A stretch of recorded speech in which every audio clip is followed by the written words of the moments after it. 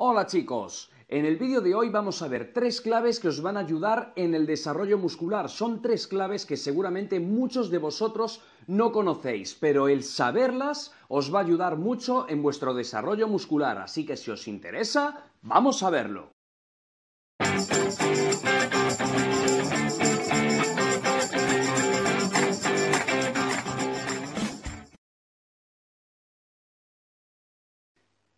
El primero de estos trucos va a ser uno para conseguir más fuerza y eso se hace mediante ejercicios como las sentadillas, obviamente con peso y también el peso muerto cargándole bastantes kilos. Con estos dos ejercicios se consigue una actividad muscular enorme, ya que cada uno de ellos trabaja un montón de músculos.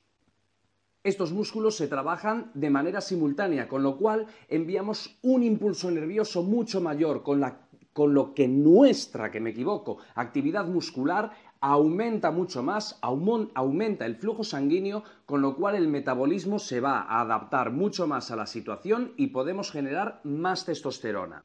Hacer cuatro o cinco repeticiones pesadas con estos ejercicios antes de, por ejemplo, un press de banca, nos va a ayudar a esa activación de la que os estaba hablando antes y va a hacer que el cuerpo esté mucho más enérgico para poder hacer estos ejercicios. Al haber una estimulación muscular tan global, es decir, de tantos músculos y con la fuerza que hay que mover, va a hacer que nuestro cuerpo esté preparado para poder mover mucho más peso y con mucha más energía para otros ejercicios. Podemos realizarlo tras un buen calentamiento y antes de iniciar un ejercicio, como os decía antes, como el press de banca.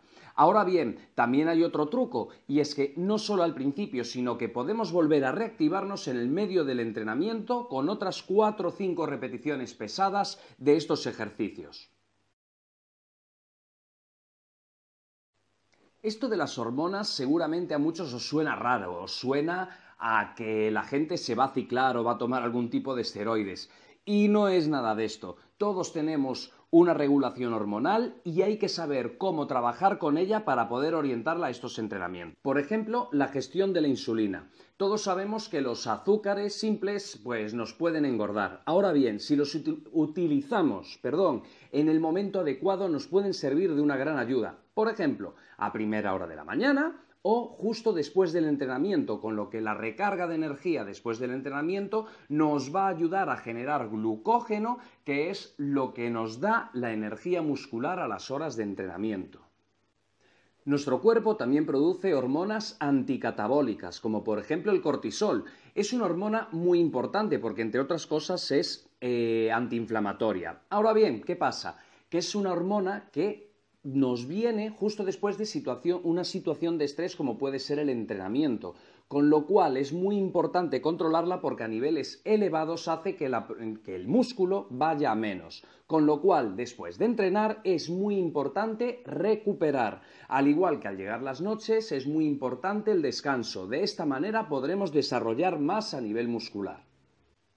Otra hormona importantísima en este caso es la testosterona. La, testosterona, que hoy me lío mucho, es una hormona anabólica. Eso quiere decir que nos va a ayudar a la producción de músculo. Pero hay que saber cómo estimularla. Por ejemplo, con un entrenamiento intenso, con mucho peso y descansos más bien reducidos. ¿Vale? Esa es una parte importante. Otra parte importante es a la que volví antes con lo del cortisol, y es el descanso. El descanso es clave para la producción de testosterona. Eh, más cosas, pues hay que intentar reducir niveles de estrés, por ejemplo, con una buena alimentación, por el descanso, incluso por relajación. Eh, rebajar los niveles de azúcar también es muy importante y también una alimentación que conlleve grasas, en la que metáis grasas, sí, sí, como lo oís, grasas de las saludables, que ya os tengo dicho en otros vídeos, como por ejemplo omega 3, eh, que nos puede venir tanto en pescado azul, nos puede venir en aceite de oliva virgen extra, frutos secos, ese tipo de grasas es imprescindible para la producción de testosterona y para una buena regulación del cuerpo. La rutina Wader no es otra que la que nos habla de entrenamientos por grupos musculares. Este tipo de entrenamientos son fantásticos para gente que ya esté avanzada o gente que incluso esté ciclada o tome anabolizantes. Esa gente tiene otro tipo de ventajas y de desventajas. Vamos a desterrarlos. Pero ¿qué pasa? Para la gente que se está iniciando, no puede conseguir la suficiente actividad muscular con una rutina Wader. ¿Qué quiero decir con esto? Que se tiene que olvidar de entrenar pecho una vez a la semana o pierna una vez a la semana. Lo ideal sería unas dos veces a la semana entrenar los músculos grandes, como los que os acabo de decir, o como por ejemplo también la espalda, a no ser que ya estéis avanzados. Incluso en avanzados, como por ejemplo los, los ectomorfos, que son las personas que les cuesta ganar masa muscular, los que tendéis a estar más delgaditos, yo lo mantendría incluso en niveles avanzados, ya que con esto vamos a estimular más la producción muscular.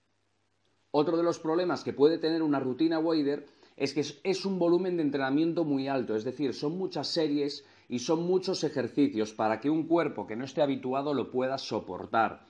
Entonces se dividiría en dos días dentro de una semana.